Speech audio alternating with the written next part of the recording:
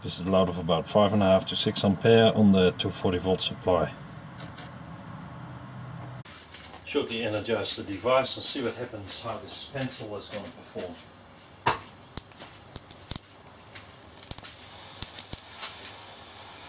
Looks very nice. 5 6 ampere.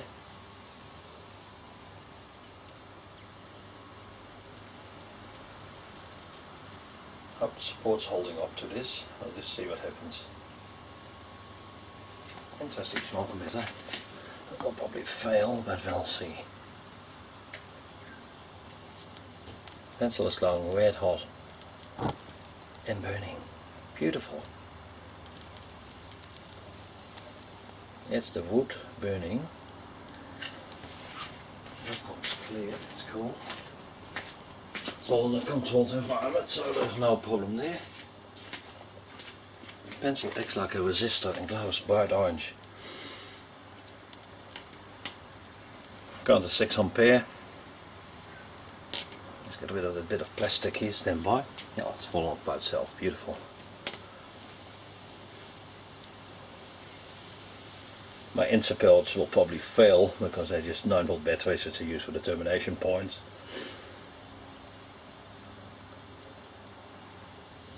I'll get a dynamic different angle on this uh, setup. I'll just um, put the camera a little bit different angle. I'll bring it up a bit higher. Stand by.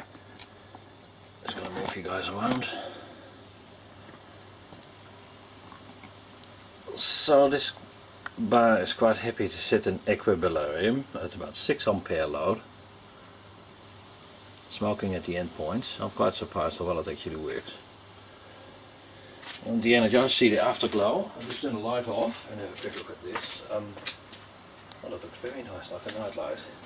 It's actually a nice orange. The camera shows it a bit more whiter, but uh, oh, we get a bit of arcage. That's even nice. I'll just let it cook for a wee while. I think my end termination support will fail at some stage. We've got a blue flame there. It will carbonize itself, de-energize the carbonization. The current is steady at 6 ampere. This is quite cool.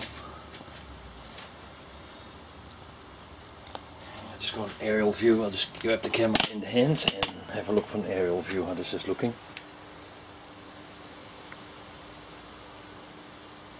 This is in a controlled environment, as I said before, it needs to be vented and uh, it's a 240 volt experiment, so very important on these videos.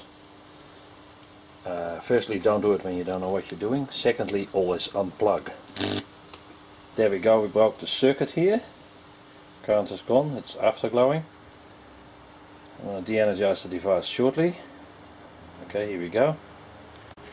Okay, this is always one of the most important things. Uh, always unplug safety first. I turn it off at the wall and unplug safety first. Have that physical gap before you touch anything. String 1 was done with a 1 kilowatt element in series, so ballasted circuit. It's interesting to see the texture of the graphite has changed. It's gone very brittle and it's gone uh, yeah, a bit brown ochre type color. Breaks quite easy. It's probably because of uh, impurities in the graphite itself. So I'm going to do another one that uh, maybe about uh, 10 ampere 12 ampere load